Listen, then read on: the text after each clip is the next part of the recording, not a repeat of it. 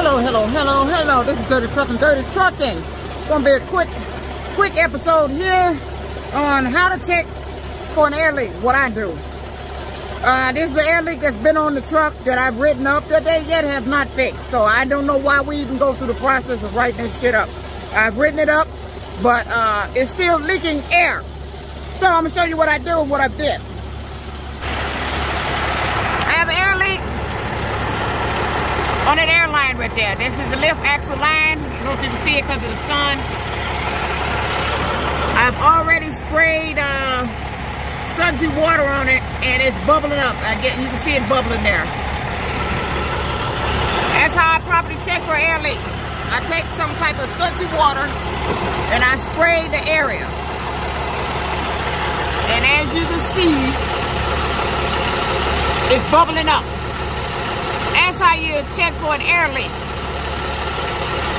And this is an air leak on the lift axle line that goes to my, uh, works my lift axle, is at the base of the truck. All this has been written up. I wrote specific words. Air leak, lift axle line, connection base to the truck. Why it has not been fixed, I don't know. It is mysterious that this particular airline keeps ending up with air leaks every so often. I mean, nuts don't come loose by themselves. They don't untighten by themselves, and there's nothing on there to make it turn to untighten. So, unless we got a yard gremlin that's loosening it on purpose, uh, it shouldn't be leaking because I've had that, that particular valve, that uh, particular nut tightened twice.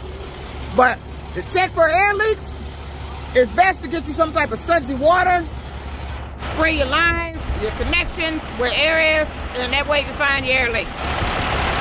Once again, as you can see, it's still sudsing up. Bubbling. That is where the air leak is on this truck that I've written up, and yet it's not fixed. So I'm gonna have to write it up again. This is Dirty Truckn Out on my segment on how to check, how I check for air leaks. Peace out.